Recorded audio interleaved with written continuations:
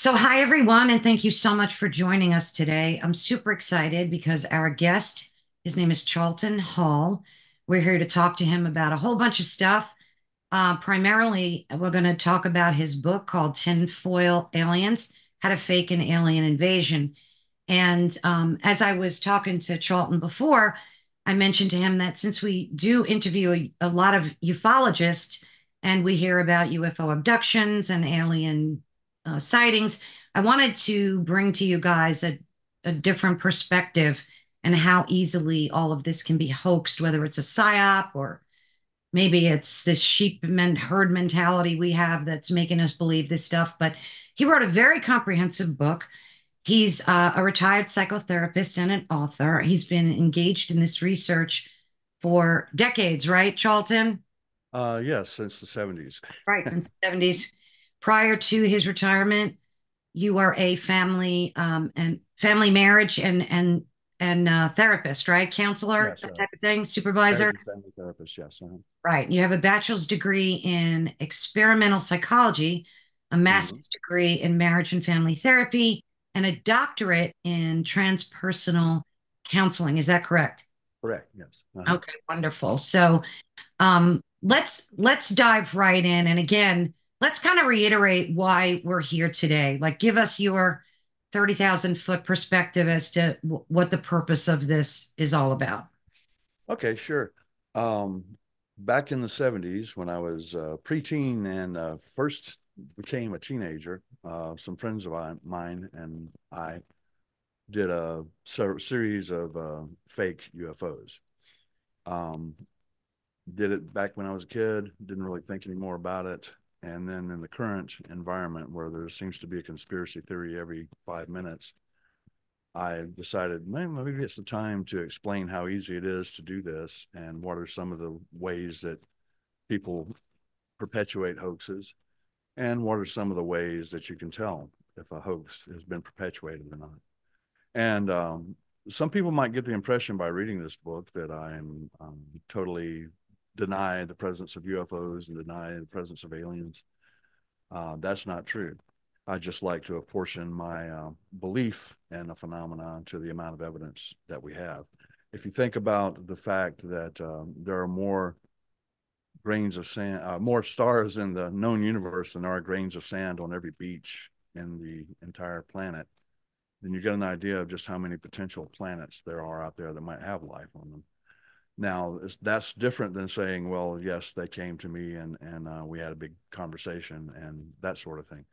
So the the general idea behind the book is uh, this is how we faked all this stuff, and this is why we did it, and this is uh, how you can tell if it's a hoax or not, so that people don't get uh, taken in by these readily apparent hoaxes.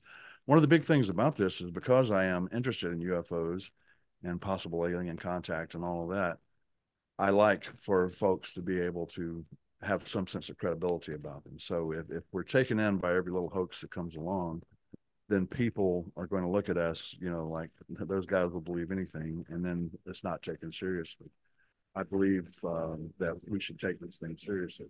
You might be familiar with the uh, work of J. Allen Hynek, who came up with the close encounter scale he looks at it from a scientific perspective. And I think that's what we should be doing is looking at it from a scientific perspective. And that's one of the many reasons I wrote the book. That's an excellent answer. Thank you so much. Uh, of course, we have so many questions for you, but um, so that that was the driving force behind your book, then, right? Yes. To just expose this and give people, um, you know, food for thought, and especially nowadays, there's so many sightings. Um, what do you think is accounting for all of the sightings globally? And especially the ones released by the government you know the tiktok ones and stuff like that. Yeah. All these authorities coming out and commission hearings and what what's the mechanism behind that do you think? Um everybody has a camera now. So if any any strange thing at all shows up you can just whip out your camera and video it Another one is that you can uh, download uh, software for free that makes it very easy to fake things like this. Another one is that um, the perpetuation of um, social media. Um, for example, like if you have uh, YouTube, one of the ways that people make money on YouTube is to get people to view their videos. And one of the ways that they do that is to make videos that people want to watch. Mm-hmm. And would you rather watch um, a 15 minute video on uh, how to, uh, you know, clean the house, or would you rather watch a 15 minute video on UFOs and aliens? so there's some incentive there. There's some some financial incentive there for creating these UFO videos, that sort of thing. That makes total sense. Um, so you put so many decades I think since you were 13, right? It's in your book. Uh, yeah, actually, it was about, we were about 10 or 11 years old when we did the first one. Uh, this is over 50 years ago. So I mean, I have the dates exactly right, but it was, yeah, somewhere along in there, about 10 or 11. That's really young to be thinking. Yeah, yeah. yeah. I was like so impressed with that, that you had that drive within you as a young kid to like disprove things. Yeah, back back in the day, there was no internet or no video games, so we had to entertain ourselves the best way we could. So we had, uh, and mo- most of my circle of friends were sons and daughters of engineers and scientists. So so we had ready access to a lot of things that uh, we probably shouldn't have had. Looking back on it, right. gunpowder and things like that. Sure, sure. You would. Yeah. It was incredible. You, the book is so comprehensive. Like I literally have to read it again because I was like underlining stuff as I'm, and I, it quite changed my perspective on a lot of this too. It kind of, it didn't, it didn't change my, my like belief system. I believe there's something going on for sure, whether it's government, uh, top secret, you know, ships or whatever, but it yeah. kind of made it cohesive for me and, and, in so many ways to not always believe what what I see. I mean, look at um, you know what they're doing on the internet too with deep fakes and stuff like that. So it's it's yeah. just excellent read. It really pulls things together for the reader. So I highly recommend that. Thanks. One of the things that I like to to say regarding all that is um, I think we talked about it in the pre-chat that uh, people might get the impression by reading this that I totally deny aliens and UFOs and all that. I like to draw the distinction between what I believe and what I can prove to be true or what I know to be true. And and uh, while I do believe that there could possibly be aliens living among us or talking to us in some way, I don't have any credible evidence that would stand up to scientific scrutiny for that myself personally. That doesn't mean that there aren't people out there who do, it just means that I choose to uh, say, okay, I, I, would like to believe that aliens might be here and they might have visited us, but that doesn't mean that I can concretely prove it in uh, a way that would meet scientific rigor, if that makes sense. Yeah, it makes total sense. Why do you think the government has all of a sudden started to become more transparent about these things and releasing this footage, documentation, people, testimonies, stuff like that? Mm-hmm part of the this is probably not a good thing to say on a book about how to detect conspiracies but uh, i think part of it might be the government dis- conspiracy. Yeah. They're trying to detract from something else. Anytime uh, um, one of the things we talk about in the book is uh, i was an amateur magician from very early age. I like to try to uh, figure out how they did magic tricks. And one of the first rules of magic tricks is you detract from what you're doing over here to to hide what you're doing over there. Right. So I think that might be part of what's going on here. And it could be some legitimate things going on too, that there could be actual, you know, aliens out there somewhere that they actually have evidence of and um, they're just releasing it. But on the other hand, it could just be that uh, there's something happening in the government that they're trying to detract your attention by releasing all the UFO stuff. And I'm not saying either one of those is accurate while the other one isn't. I'm just saying presenting all the possibilities. Yeah, a lot of people speculate that as well. One of the things that intrigued me is you talk about um, uh, in great depth, like confirmation bias, cognitive biases, psychological mm. ops, stuff like that. Yes. Um, how do you think that fits into this whole thing? I mean, you've witnessed it for decades how people are so easily duped and you know we've read about studies like what was that study where they made uh, a bunch of people electrocute somebody by just giving them orders? What was the name of that was the Stanley Milgram st- study. yes. Yeah, that was pretty amazing stuff, right? Yeah, yeah. And and basically all it meant was that if there's a guy in a lab coat telling you that it's okay to torture people, torture people. because some guy in a white lab coat said it was okay. That blew me away how easily people are coerced into doing things. So where does this all play in our confirmation bias and so on? Like how does that Um, play into it?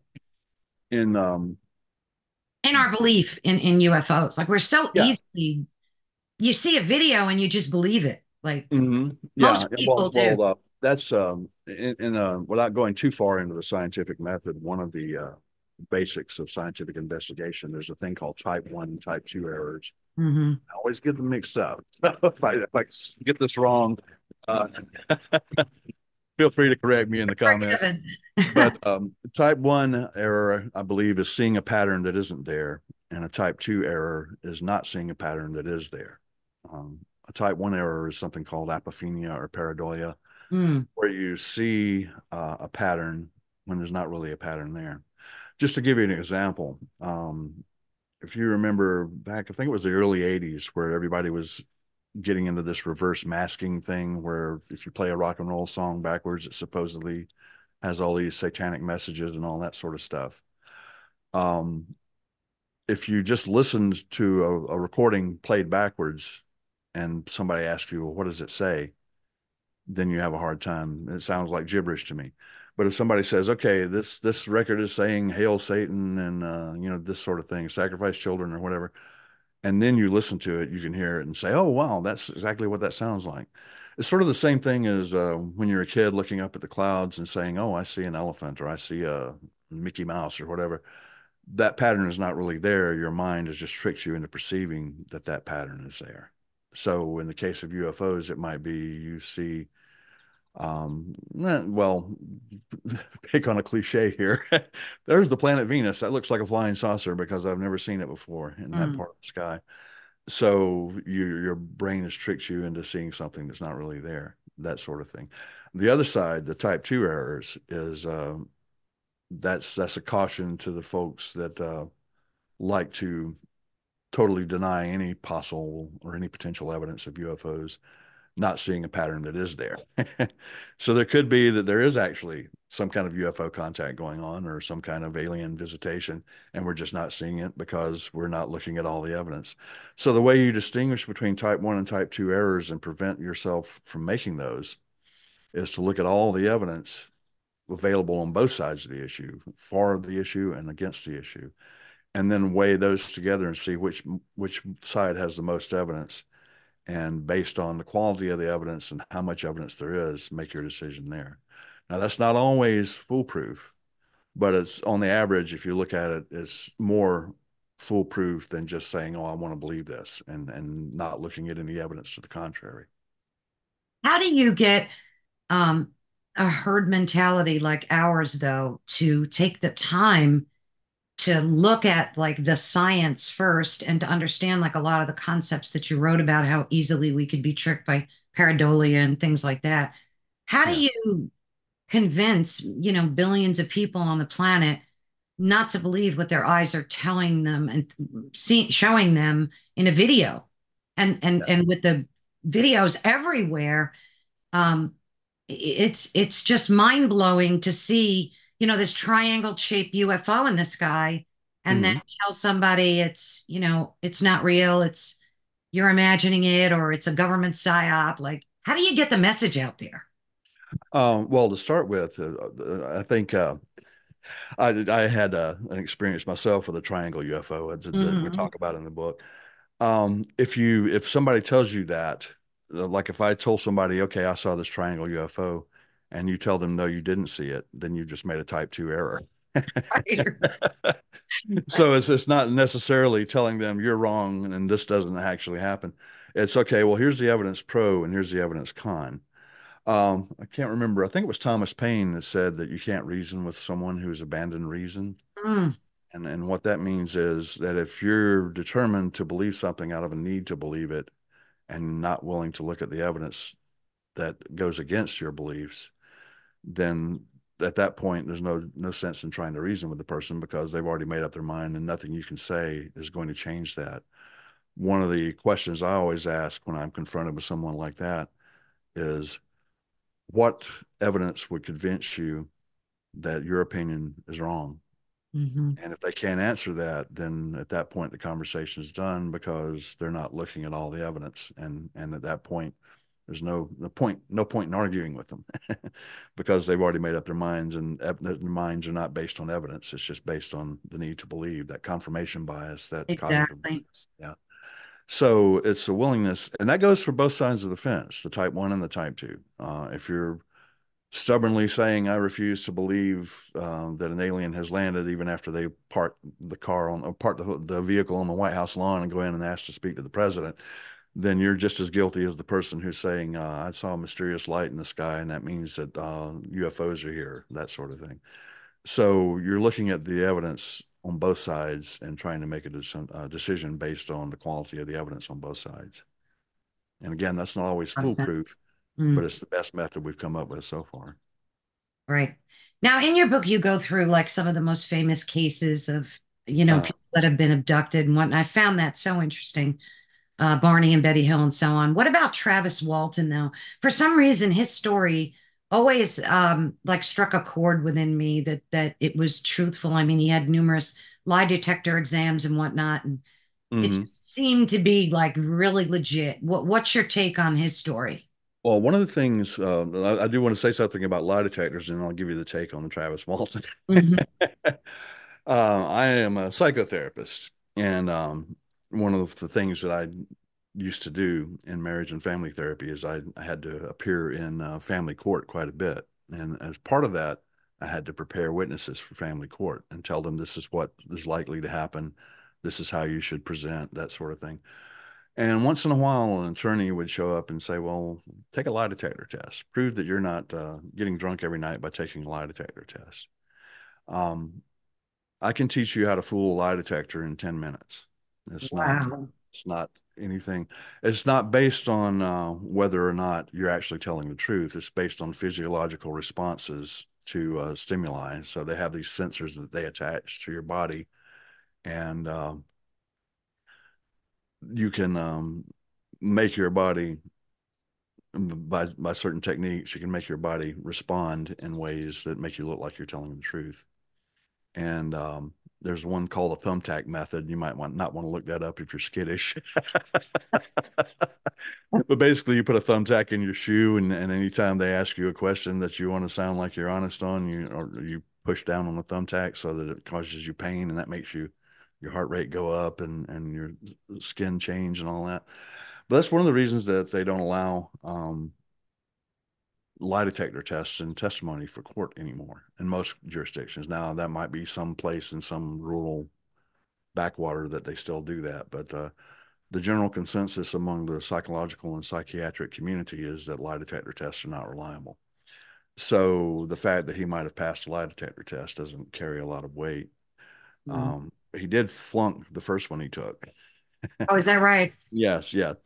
Uh, the second one is um, again, this goes into looking at all the evidence for and against, and then making a decision there.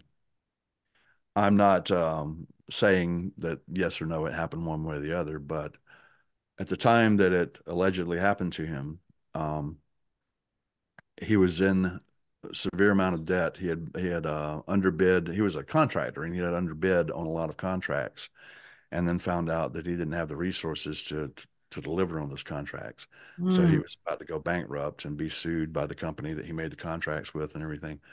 So just about before he was about to be indicted for that, that's when the aliens abducted him. oh, so I'm not saying that, you know, it could just be a coincidence that the aliens happen to look at and say, okay, there's this guy named Travis. We need to give him a little help here. So let's go abduct him so he can get out of his bankruptcy.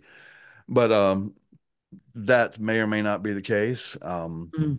I mean, it could be that he was actually abducted, and that that's what happened. But um, again, just looking at all the possible motives for why this happened, um, and, and, to perpetuate a lie for mm. decades like that. I mean, you know, it just struck yeah. me as like you really need to be a, a special kind of person to do something like that. Well, and, and in his case, if he went back on it, then he's subject to Right. lawsuits. True, true, true. Is there any case that is, you know, in the public eye that you would say has the the most amount of proof of abduction? Because I most don't amount of proof of abduction. yeah, and- like that they were really abducted, like that you kind of tend to believe in this particular abduction. Um, well, as far as uh, the Barney and Betty Hill thing, um, I can understand the um, evidence both for and against. So I'm not saying that I totally believe in Barney and Betty Hill, but out of all the uh, cases, that's the one that has the most amount of credible evidence, and that's just because I'm a trained hypnotherapist and I know. Um, number one, it's very easy to implant false memories in somebody. Mhm. Um, number two, the um, evidence produced by hypnotherapy is not allowed in court either. It's kind of along the same lines as um, lie detector tests. They're not allowed in evidence because they're so it's so wishy washy. It's so easy, and unless you're very very well trained in hypnosis and hypnotherapy, it's easy to uh, miss how somebody might implant a memory in somebody. But uh, given the fact that there's a lot of transcripts and a lot of uh, data, uh, the book, The Interrupted Journey, um, if you've ever read that, it goes into uh, the actual transcripts of the hypnosis sessions. And uh, the fact that uh, Barney um, denied it quite a bit. And he's like, I, uh, there's a thing in the book, a scene in the book after um, the whole experience happened. Betty looks at Barney and says, Now do you believe in UFOs? And he says, Of course not. Are you crazy? You know, that sort of thing. Right. So he spent the majority of the time that this was being investigated denying that it ever happened and thinking that it was, I believe he called them Nazis at one point in time. Right. because they were all dressed in uniforms and, and that sort of thing. Um, and again, not saying that I believe that that actually happened, but just saying that if you had to look at the evidence in favor, which one would be the most uh, Yeah. Potentially credible? And there's still some problems with all of that as well, but um, that I go into those in the book, and, and you know that's um, probably another story. But Yeah. I, I I don't know. It's it's like, you know, they make documentaries about these things and they make them so compelling uh, that people just automatically believe them. You also touched upon how to spot a hoax in what, 10 steps or something, yeah, yeah, which I thought was brilliant. Could could we kind of just go over that? Uh, I'll have to bring it back up. Let me see. I just I love mean, that. I, I have all the 10 steps, but I don't have them memorized in order. So let me pull that up real quick. Okay, sure. Um, number one, inconsistencies in visual appearance. Um, the idea there is just, um, does it look like something you've seen before? Does it look like um, a legitimate something from outer space, or does it look like something that uh, you might have seen before? Um, there, there's a picture in the book where was it George Adamski? I think it was one of the George Adamski uh, UFOs, where I show the picture of the alleged Adamski UFO and then a Coleman lantern from the same time period, and the Coleman lantern top is the UFO. Another one is with the Billy Meier UFOs. There's a very visible trash can lid and something called the wedding Yes. cake UFO. When we're done um, going Yeah. over these, I want to touch back on the Yeah. Billy Meier thing too. So Okay, sure.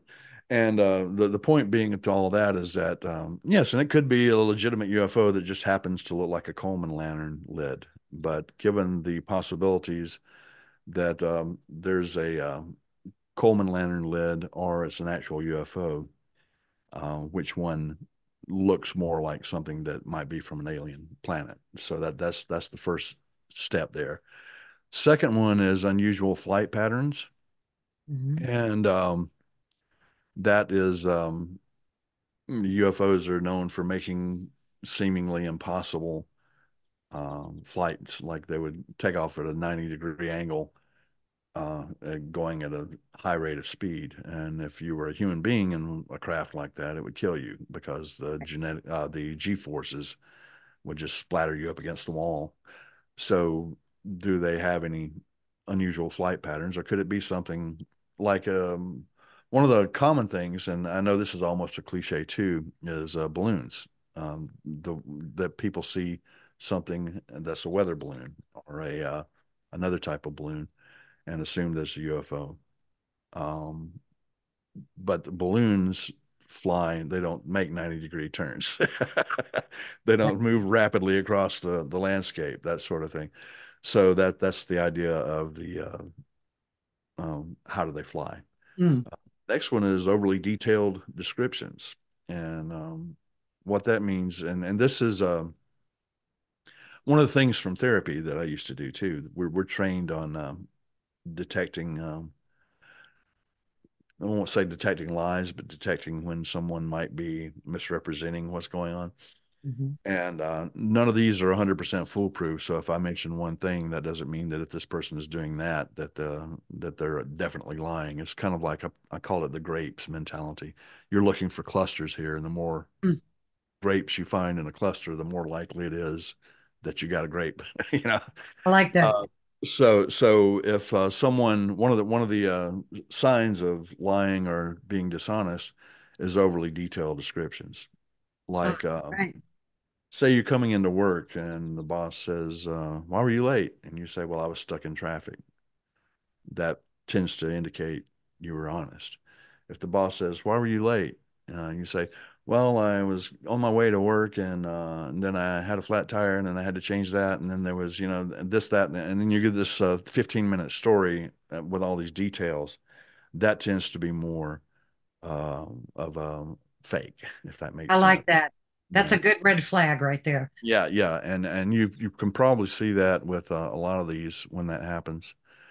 Um, four, lack of multiple witnesses. How many folks do you have that are actually um, seeing this phenomena. Now, one of the things that happens quite a bit is that you have to watch for, and I've seen this on uh, several different things. Um, I there was 20 people that saw this. Okay. Mm. I have one guy telling me there were 20 people that saw this. That's different than having 20 people tell me they saw this.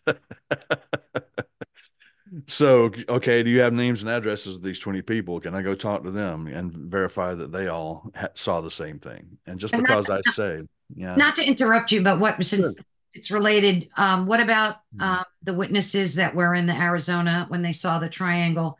I mean, weren't there thousands the, of witnesses for that? The Phoenix Lights, yes, yes. Yeah. Um, there were thousands of witnesses that saw the Phoenix Lights. Mm. Um, there were a few of them that said that they saw a black triangle. Mm. There is no video that I'm aware of of a black triangle or no photograph of a black triangle. not saying that there wasn't a black triangle there. I'm just saying I haven't seen any of the. you think but, that mass hysteria then? I mean, um, well, it could be. Um, the, the, one of the things that um, I look at on that is if there were thousands of witnesses, why didn't they all see the black triangle? Why did only some people see the black triangle? Ah. Yeah. So, and that that's another thing that we get into with analyzing witness testimony, or is everybody seeing the same thing?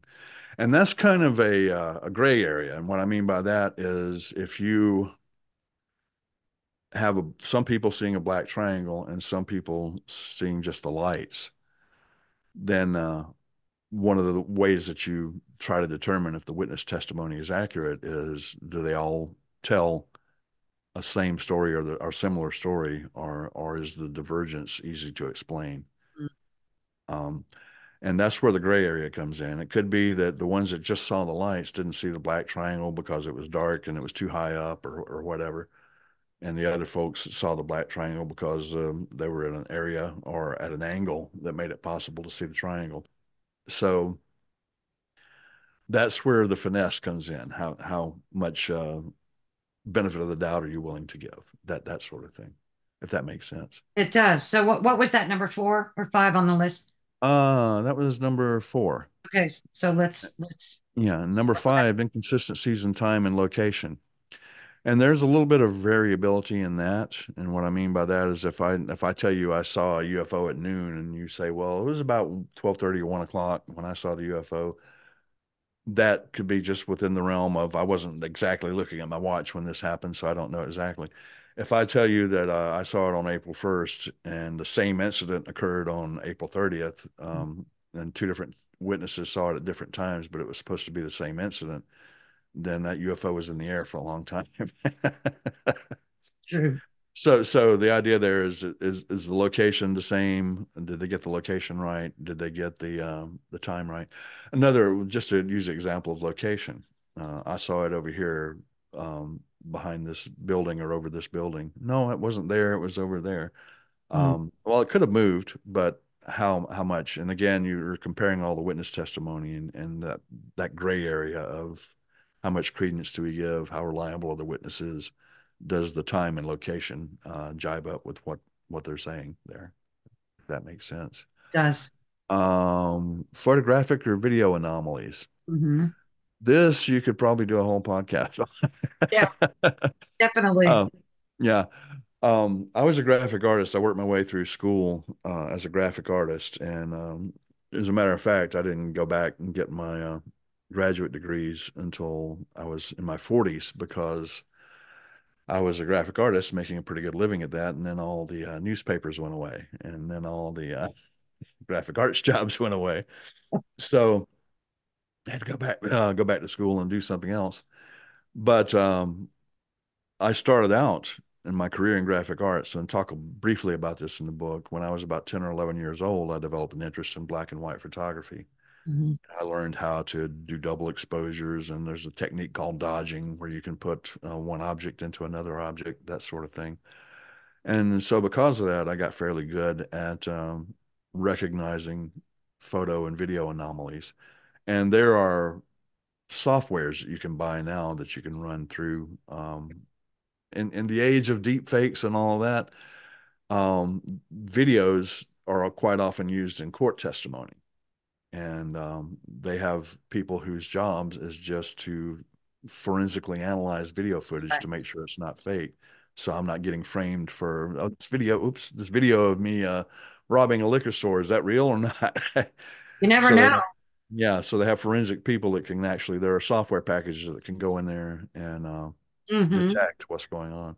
Just to give you a basic example, um, talk about the uh, Gulf Breeze UFO sightings. Mm-hmm. Um, I was living in Gulf Breeze at the time, and that just so happened to be when they were testing all the uh, stealth fighters at Eglin Air Force Base, and that could have been rep- uh, responsible for some of those UFO sightings. But uh, if you look at the Ed Walters book, uh, the Gulf Breeze UFO sightings, every one of the pictures of the UFOs, with one exception, is um, the UFO is always in a dark part of the sky. There's nothing in the background well, two exceptions. so when you're doing double exposures, um, it's very easy to just um, stick a UFO image into a dark part of the sky because there's nothing overlapping, if that makes sense. Now, uh, let me let me I probably should explain how you do double exposures to start with. You just uh, first create a model UFO, and then you take a picture of it against a black background and then you uh, don't advance the camera forward. And this is back in the days before digital cameras, so everything was still on film. You don't advance the the, the frame. You just take another picture using the same uh, same uh, slide there, and then you go out and take a picture of the night sky or take a picture of the landscape at night. And then the UFO picture is going to be in the background in a black spot on the landscape that you took. And people point out, well, it couldn't have been double exposures because it was Polaroid. Mm. Uh, it's a very simple matter to take a photograph with a regular camera, do a double exposure, and then go have it developed and then take a Polaroid of the photo. right. Right. So that that's a very easy technique. I mean, it takes a little finagling to get the lighting right and everything, but it's not it's not that difficult to do. But if you look at all the uh, Ed Walters photographs, almost every one of them, with a couple of exceptions, um, have uh, the UFO in a part of the sky that's black. There's one where the tree overlaps the UFO, like the, the UFO is behind the tree, mm, and it partially overlaps on the edge. And uh, that's a very. I'm not saying that they did this, but I'm I'm saying that it's possible. That it's very easy to go in there with a magic marker and draw in the tree, um, or you know something along those lines and the other one was where the UFO was hovering over the road. And if you look at the edges of that one, you can clearly see the background showing through on the on the UFO. Sure. It's mm-hmm. a double exposure. Plus, just the fact that it's uh, very obviously paper plates that those Some of them UFOs are made out of. Some of them are. Yeah, yeah. Um, and let's see, the next one, um, similarities to known hoaxes. That's uh, called the bandwagon. If if um, one hoax happens and people figure out, hey, this is easy to do this this way, then a bunch of other people will hop on Yes. and start doing the same thing. See that a lot. Yeah, yeah, yeah. And uh, next is sensational claims. hmm It's one thing to say, uh, okay, I saw a strange light in the sky. It's another thing to say, I saw a strange light in the sky. Therefore, it came from Pleiades or from Right. Reticuli or something like that. Um, apportion the claims to the evidence. You, you saw something in the sky. The U in UFO stands for unidentified. So Right. it's not identified.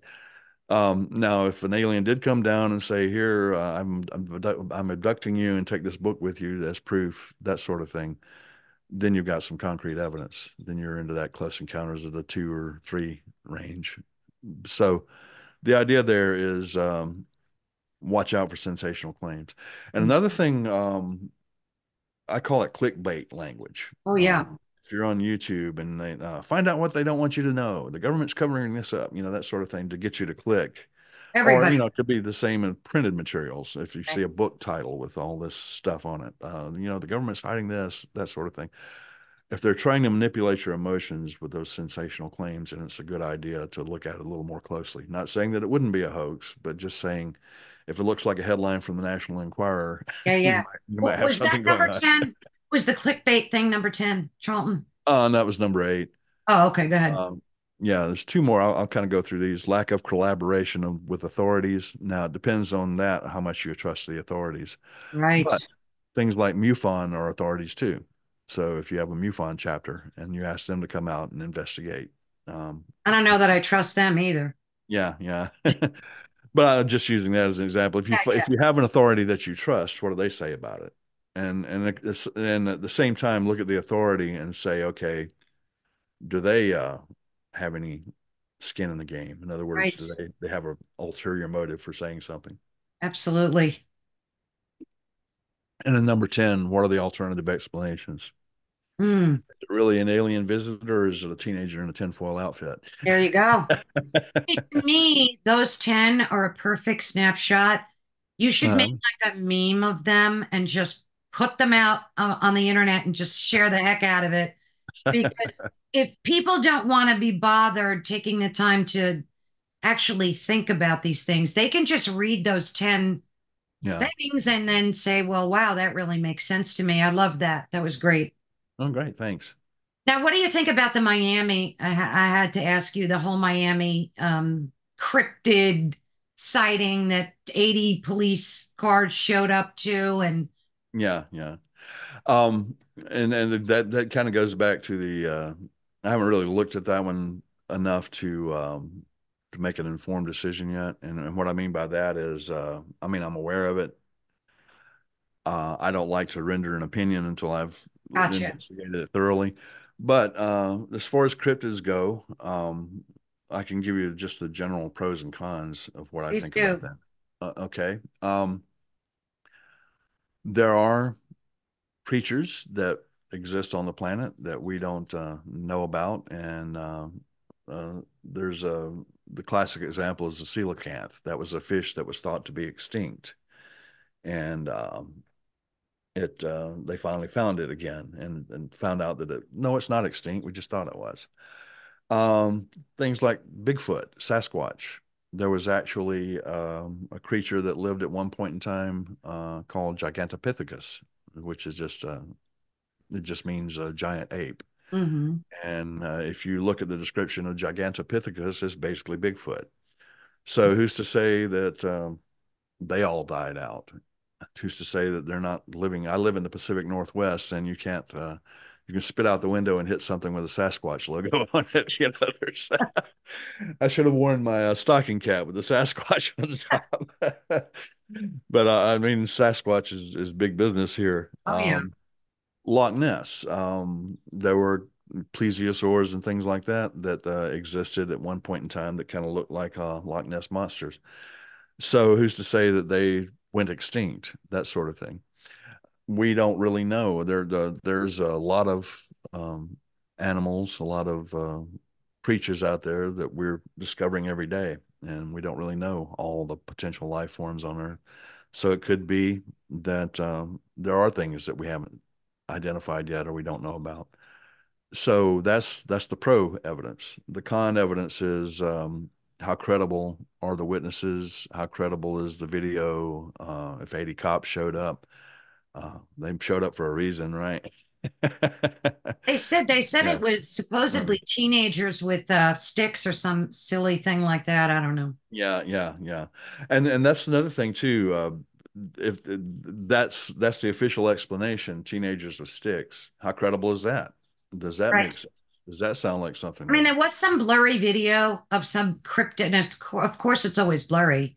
Mm-hmm. These are the things that make me crazy. We have, yeah. you know, two thousand dollar smartphones with amazing digital cameras on them, yeah, and 4K cameras. Videos, and... videos are blurry, pictures are hazy. Everybody's bouncing their camera all over the place. Yeah, so that whole thing makes me nuts. But they did show um, some kind of cryptid looking creature in one of the videos, but again, you know, it was all blurry and stuff. Yeah, but yeah, I mean, the only thing that makes me question that whole thing is mm-hmm. I've never, even, you know, at school things and terrible things like that, uh-huh. I, I don't think I've ever seen 80 cop cars show up. Yeah, yeah, yeah. So that that's a red flag for me. Yeah. Right and that um there are things um that go on that um th- there's a government cover up and then it turns out to be not what you thought it was. Um, right. There's an example. I think it was Philadelphia. I can't remember. Uh, I believe it was Philadelphia where they had the UFO that crashed in the late 60s, early 70s, and they had the government come in and shut down the area and all that. Um, mm. That sounds like a, a, UFO sighting. What I think happened in that case was that it was a Russian um, spacecraft right. With a Russian astronaut in it. That uh, that makes more sense, right? Yeah, yeah. But um, the point being that they the eighty cops could have been there because it was a cryptid. It could have been there because it was uh, some kind of government thing that they wanted, you know, covered up that we weren't. But at a mall, yeah, just the whole thing just uh-huh. really makes you wonder. Like, and and I saw a video of a um, some boy um, had a he was he was talking to his dad on a video chat and his dad was a cop who who reported to that mall and yeah. he was asking him dad tell me like what did you go there for? What did you see? And he's and he didn't know he was being recorded the father and he said yeah. no i'm not allowed to talk about that. I can't tell you to his yeah. own son. So something went on there. Whether we'll ever find out or not is is a whole different you know yeah and that gets into the whole uh, men in black thing um right. I mean, that's what we're talking about things that are credible versus things that are not credible. Um, Men in Black that uh, could possibly mm-hmm. be a government agency that is responsible for mm-hmm. hiding evidence of things that they don't want to know. Does that mean that they're always hiding evidence of UFOs? Not necessarily.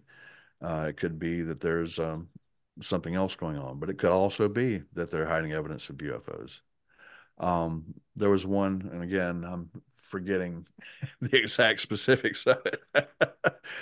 Uh, was a couple of ladies that were driving late at night, and this UFO appeared to them, and they looked out the window and and uh, got burns on their face. And then I saw that. And the UFO was being chased by a bunch of black helicopters.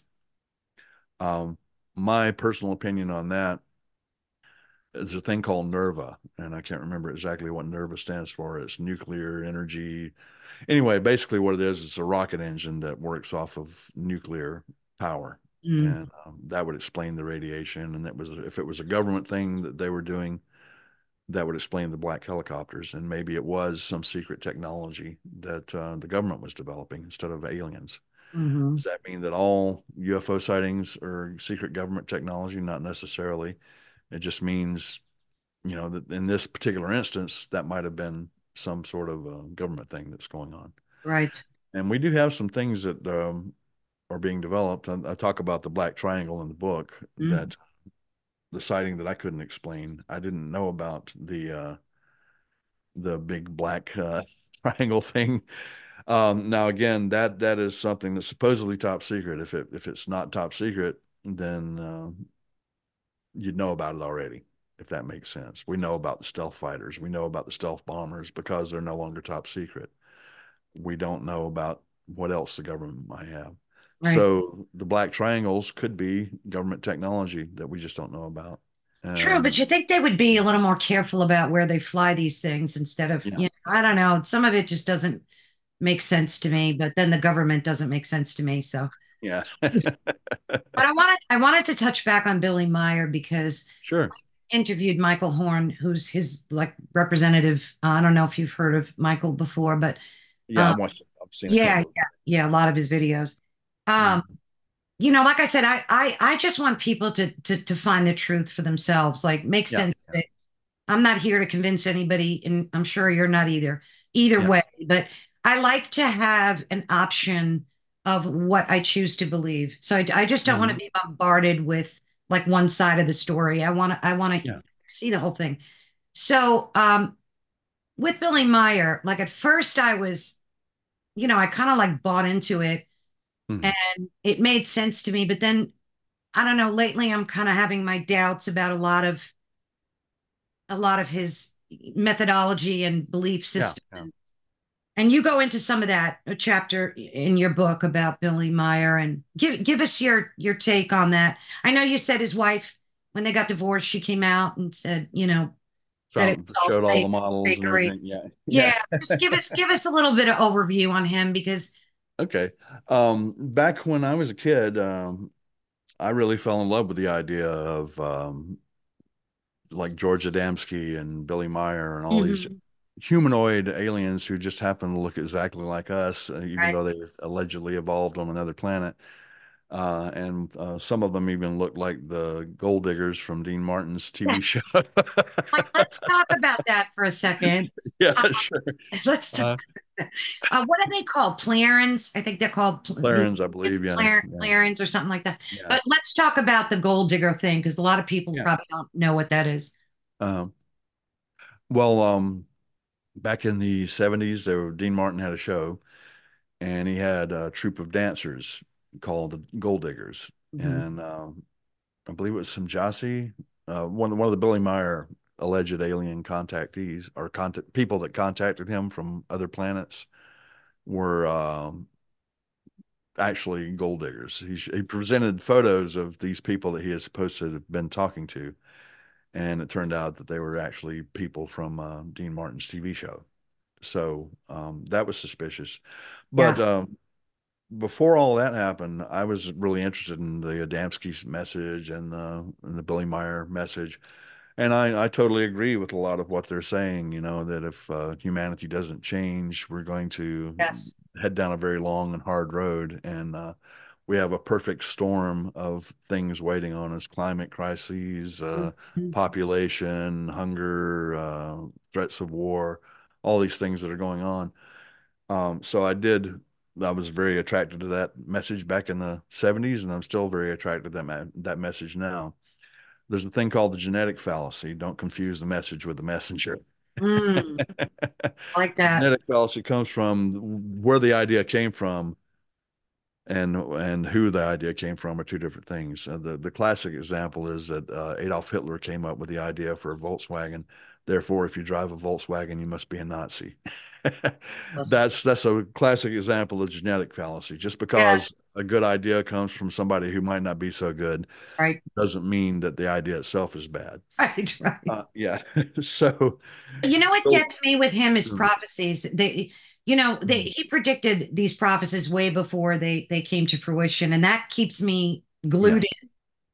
Yeah, um, there are um, you know that could be a whole other show there about the yeah. psychology of how prophecies work um, so for example if i uh, if i'm in the restaurant and i order a steak and uh, the waitress brings me a steak and I, I okay my wife and i are at a restaurant i tell her i predict in the future someone is going to bring me a steak and then the waitress comes up and i order a steak and then she brings me a steak was I a prophet?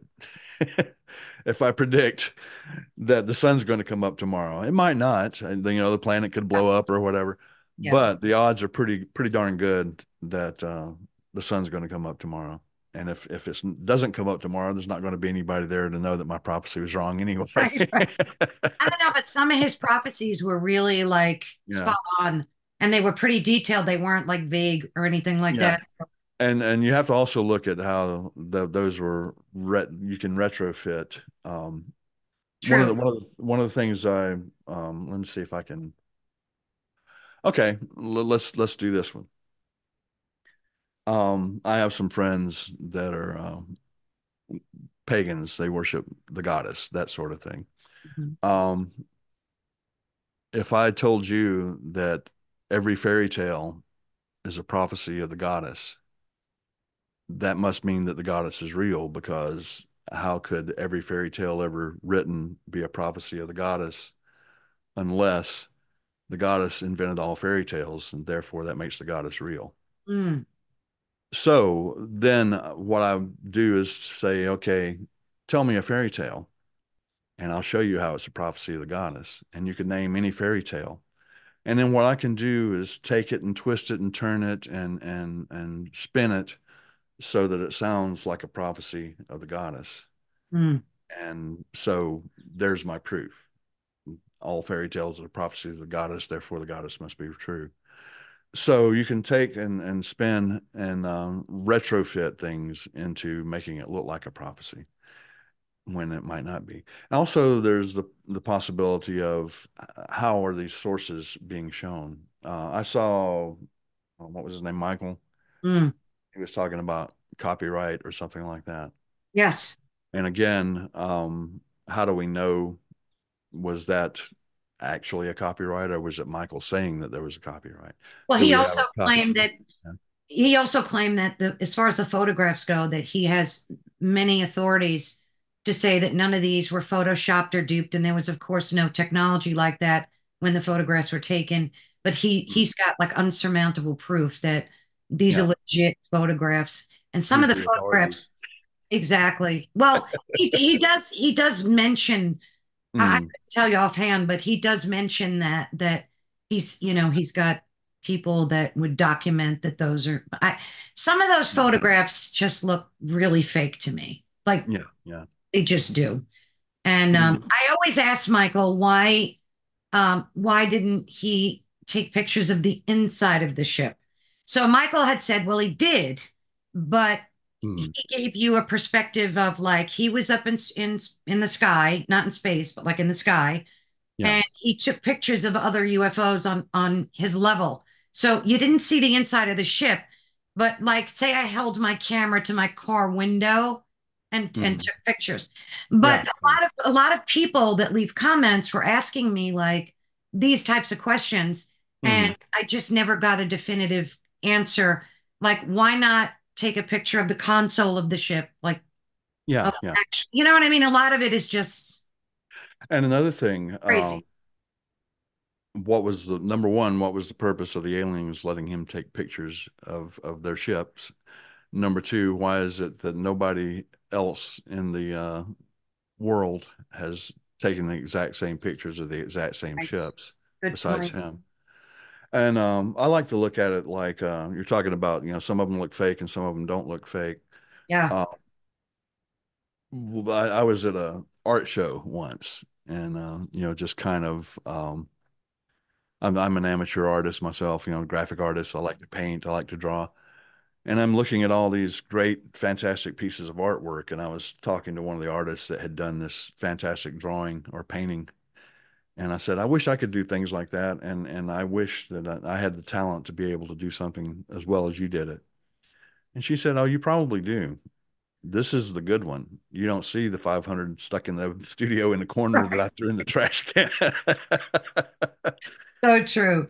So, so you know, it might be three or four. You might take 5,000 fake UFO pictures, and then there's three or four of them that actually go, "Wow, that looks really, really great." Uh, you know, You know, it's crazy when you think about Billy Meier because he Uh, spent, what is he in his 80s now?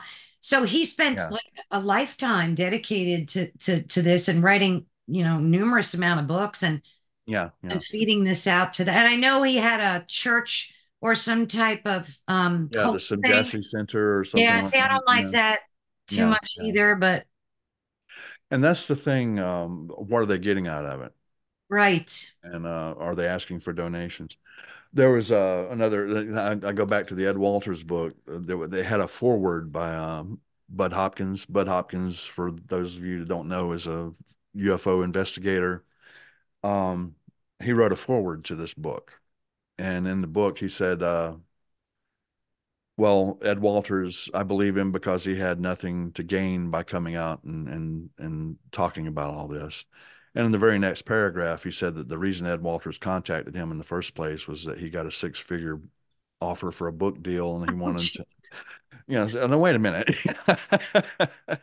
Something doesn't doesn't can, compute here.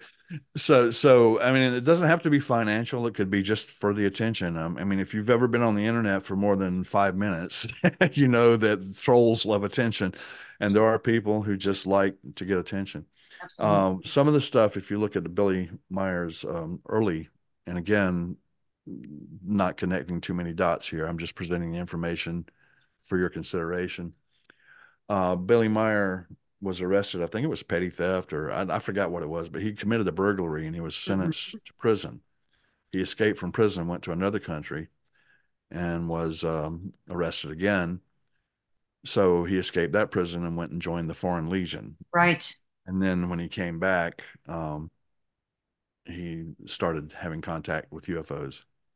And um, the uh, I forgot what the exact nature of the offense was. I think I mentioned it in the book, but um, it had some element of hoaxing and conning. It might have been forgery. I forgot what it was, but it was something yeah. along the lines of trying to uh, fake things. Um, and um, the with my whole thing with Billy Meier, I, I mean, I, I, read all the alleged prophecies and everything too. And one of the things um, I, I, I, saw all the photos in the books, and uh, then one day I saw a photo, and I think I mentioned it in, in the book. And the photo is very obviously the lid from a licorice container. My grandfather owned a little I gas read station. that. Yeah, I read that yeah. in your book. I was blown yeah. away by that. Yeah. So, so what is it? It's a licorice container. Yeah. Um, I don't know if you've ever been in the, this would have been the late 60s, early 70s, back in the day when they had the old country stores. My grandfather was a farmer, but he also had a little country store. And they had these big glass containers on shelves that had like licorice or, or gumdrops or lemon drops or, you know, that sort of thing. And you just reached in there and grabbed a handful of candy and then he would weigh it and you pay him for it and put it in the bag there was I think it was Red Vines was the, the brand name. I can't remember, but it was a glass jar. It was maybe two or three gallon glass jar, and it had a lid on top of it.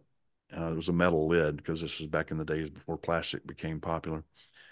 And um, I, I, was really all on board with Billy Meier, and I was eating up every word. Yes, we are headed for global disaster and all that stuff. And then I flipped to that page, and wait a minute, that looks an awful lot like that licorice lid at my grandfather's store and then the more I, I, started looking, really, really, really looking at the photographs, the more it was like, okay, there's not something, something's not quite right here. And um, so that was kind of my first, uh, the beginning of the downfall of Billy Meier. Oh, all over a licorice lid.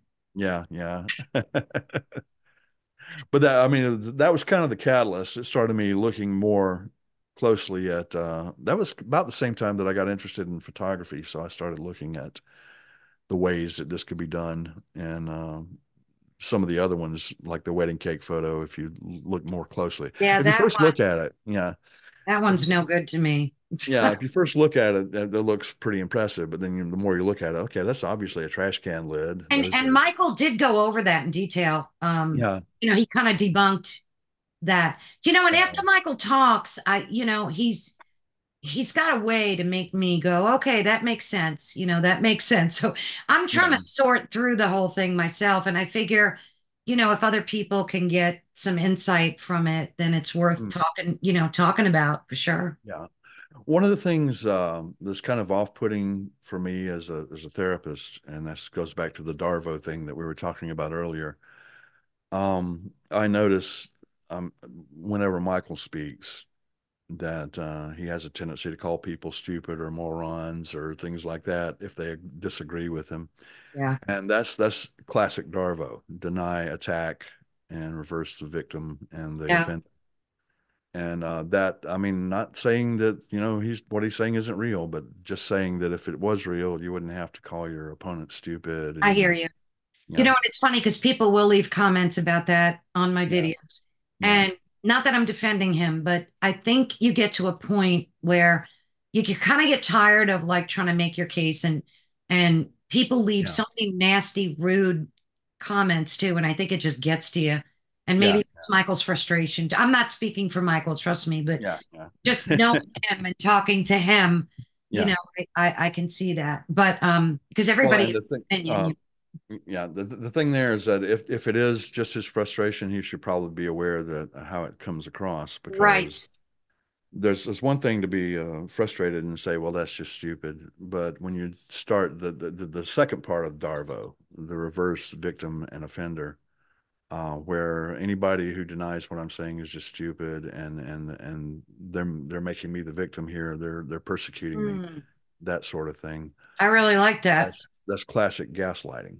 Um, and uh, gaslighting is um, what uh, well, not saying that Michael is an abuser, but gaslighting is what abusers use to turn the tables on the victim, to Right. make the victim believe that they deserve to be abused, to make the victim believe that uh, they're the ones that caused all this. And again, not saying that that's the, being abusive, but it's a Yeah. technique that comes very close to what abusers do, if that makes sense. And you would know. I mean, you've had a lifetime of uh, dealing with it. So, Yeah. what about? Um, I appreciate your time here, and like I said, no there's so many questions for you. Maybe we could do a follow up too, because I still have a whole bunch of questions. But um, I wanted to talk briefly about Area 51 too, because Mhm. just spoke with another gentleman who claimed that there was another crash sighting in Magdalena, which is like right outside of there. Yeah, And that John Stewart, was it? Yeah, John Stewart, very good. Yeah. He's a yeah, great yeah. guy, great guy. Yeah. Um, so I wanted to just talk to you about Area 51. Um, Mhm. let's just give us your 30,000 foot view on that whole thing too. Um, well, my uncle was uh, a colonel in the Air Force. Wow. So I know that there were some things going on at Area 51. Mhm. he actually, uh, his last job in the military, he, he commanded, uh, he was over a station in Biloxi, Mississippi. And uh, that was about the time that Project Aurora was going on. I don't know if you're familiar with that. I've heard of it. about that. Basically, that was uh, supposedly something that didn't exist, uh, a black triangle uh, military project that was designed to be able to fly at incredible speeds. And it was just like the, uh, it was like the uh, descendant of the SR 71 program, which was a spy recon aircraft that I actually saw and thought it was a UFO in the 70s because back then they denied that it existed. Mm, And uh, then we found out later that it did. Uh, my father used to do contract work for uh, Redstone Arsenal in Huntsville, Alabama. And if you go to the U.S. Uh, Space Flight Museum there, there's an SR 71 out front on the lawn in the parking lot. Um, so you can see one now. But um, Aurora was allegedly tested at uh, Area 51. And mhm. I asked my uncle about it one time and said, I mean, Area 51, do they actually have Aurora? Um, you know, were they testing that out there? And he gave me the standard military response. I could tell you, but then I'd have to kill you. and this is his nephew he's talking to. Mm, Funny. So there is something going on at Area 51. What it is, I have no idea. Um, the they did test. I mean, we have knowledge that they did test the U-2 spy plane there. Uh, I think talk about that briefly in the book. That uh, they finally came out under a Freedom of Information thing. I think in the 90s, and uh, admitted that the U-2 plane was tested there. Mhm.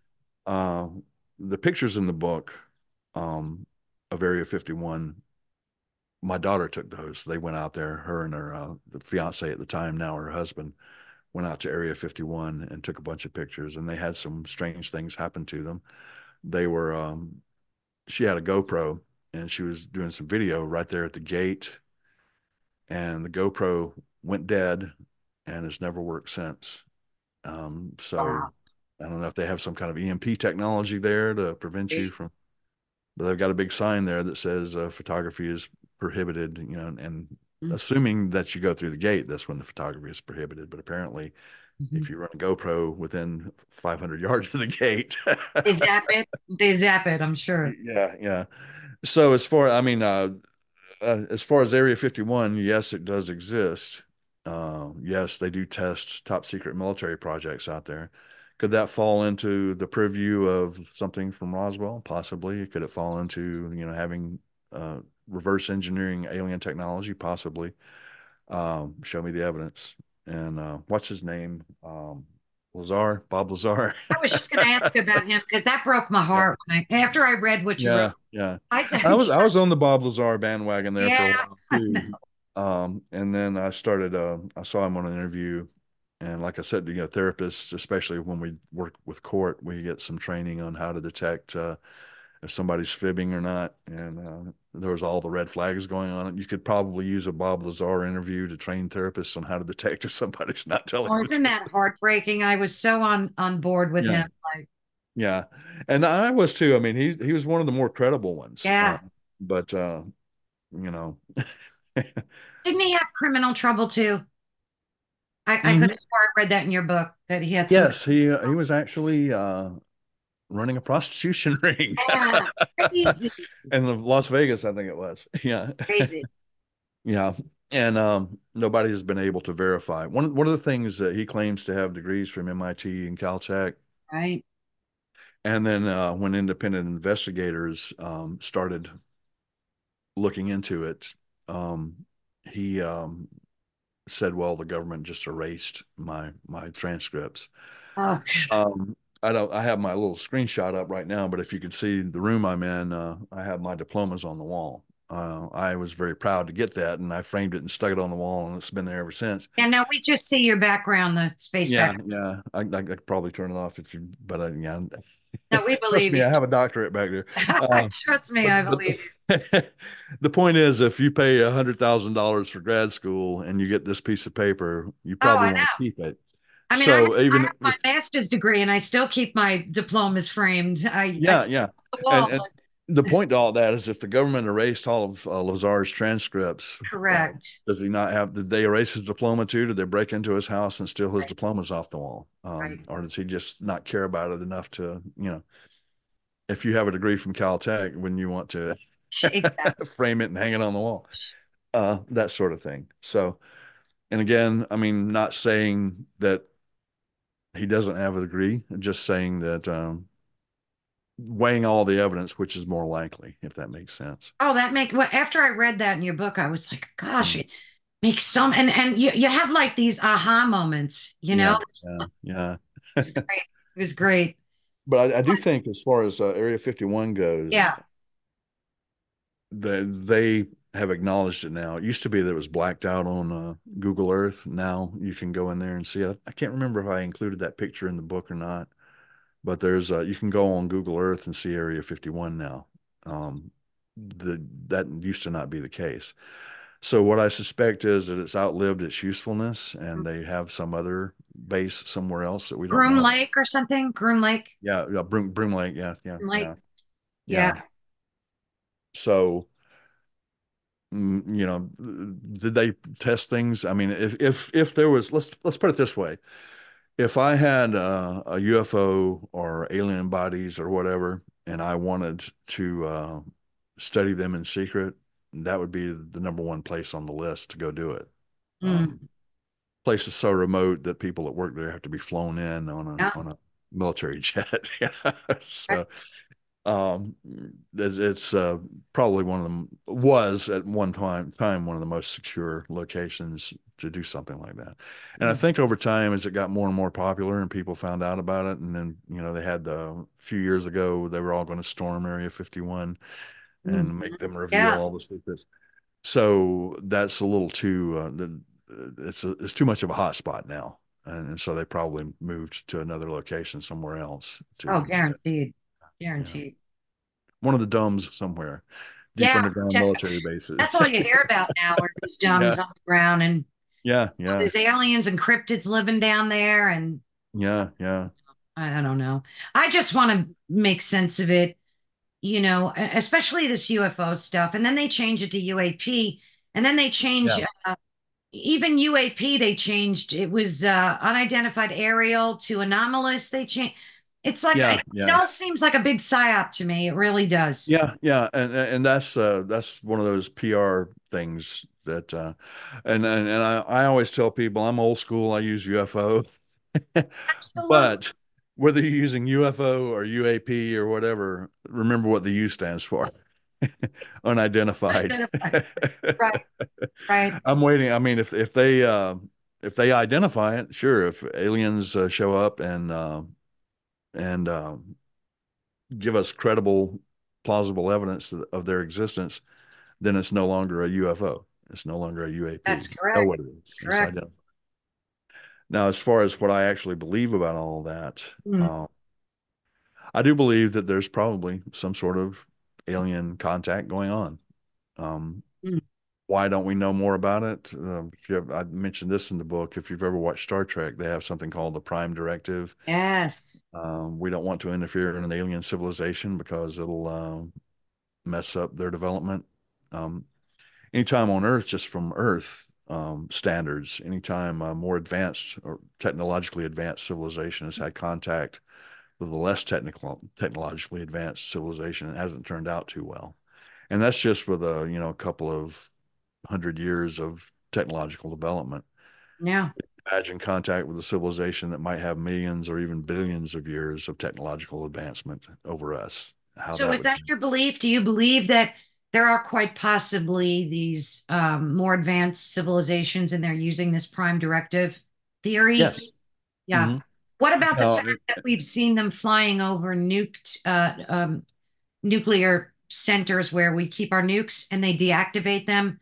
I mean, yes, yes. stories are everywhere. Do you believe those as well? Yes. Um, and uh, let, let me before let me clarify a previous point before I go on to that. Sure. Um, I, I like to draw the distinction between what I believe and what I can prove. Mm, so yes, I do believe that uh, there might be alien contact going on at some level, some way. Um, can I prove it? No. Um, so there's a difference there. Um, if I could prove it, then I'll, I will be the first to let you know that hey, this is the and but um, the, now on to the uh, idea of um, the nukes being turned off or shut down. That uh, to me is one of the most credible pieces of evidence we have because if you think about it, um, let's let's just for a moment look at the pros and cons. Suppose it's not a UFO. then that means that some government somewhere on Earth has the ability to send some kind of a probe over to a nuclear facility in the United States and shut down our nukes. Would that be something that the US government might be interested in? would that be something they would want to keep from happening? so that to me is a good indication that um, there might be something to this UFO phenomena, and the government might know something about it because they don't. Uh, they, they're not more aggressively investigating it, if that makes sense, or at least not in the public eye, more aggressively investigating it. Because if it was Russia or China or somebody that was turning off our nukes, that would be priority number one. There would be debates on the floors of Congress about how do we stop this. You would think, it's just been swept under the rug. right? Yeah. How many accounts of of those uh, deactivating nukes things? I mean, I think I saw at least Yeah. two. There've been several. I don't I don't have an exact count, but I know that Yeah, there've there's been a few, many. right? Yes, uh-huh. Quite a few. I know that blows me More than a dozen. Yeah. Now, also, I haven't looked into the credibility of all of them and, and you know, how much there's a difference between I, I go back to the Bob Lazar example. Mm, Uh, he he um, he says that all these people have this information about this and that. mm, We don't have statements from all these people that he says have information. We just have right. Bob Lazar's word that all these people have information. So, in some of the cases with the nukes being deactivated, um, we just have the statement of one um, guy from a missile silo that said this has happened. We don't have corroborating witnesses saying that. We have him saying that there were corroborating witnesses, but we don't have actual statements or actual opportunity or contact information for the other people that he alleges were actually there. So that that's the big difference, and that I keep harping on that because that's one of the big things that keeps showing up um, a lot of the time is that we have these experts that have seen this, and um, then you question them a little more closely. Okay, well, can I get information or statements from these expert witnesses? And then they tend to evaporate. What about the one that just had the congressional hearing? What was his name again? Mm. Just had a brain fart. Um, I know, yeah, I can't. I know talking you're about. talking about. Yeah, the guy, the the, the uh, was uh, it Grusch? I think it was. is it with a G? It's, it's going to drive me yeah, nuts. Yeah, um, yeah, I know who you're talking about. I you know who I'm talking about. I mean, he seemed pretty credible. Um, yeah, yeah. He seemed like a pretty credible. And then they wouldn't give him that room to like go and explain further. Like it seems like they kind of stopped him in his tracks. And yeah, yeah. I don't know. I don't know. What do you think about that whole testimony? Did you think it was um, legit or saying? I mean, I think I think there was some. I think there was some meat on the bones, but yeah. I also weigh it in. Uh, um, the first thing to do is follow the money. Yeah. it doesn't necessarily have to be money. It could be, is there any political advantage to him doing this now? And there may or may not be. Is it David Kushner? No. See, it's going to drive me nuts now. I'll get yeah, his name. Yeah. But, um, so, so you think there was some um, financial motivation? Not necessarily financial, but it could be political motivation. Political motivation. Yeah. And I, I don't want to come out and definitely say that's what it is because I haven't investigated enough to. Right. Uh, but I mean, uh, there was some credibility to what he was saying too, as far as uh, yeah. was it eight eight trillion dollars that went missing? Yeah, uh, off the top, and it's going to some black ops somewhere that we don't know about. So it's not like one of the one of the big comments I always get is if I say, okay, I'm not I'm not convinced that Roswell was a cover up, or if this was not, you know, that sort of thing. If I just come out and say I'm not, I don't think the government was involved in this, then the usual response I get, I guess you just believe everything the government tells you, don't you? Yeah, right. Sure. no, yeah. I don't. I'd like to know where that eight trillion dollars of my money went.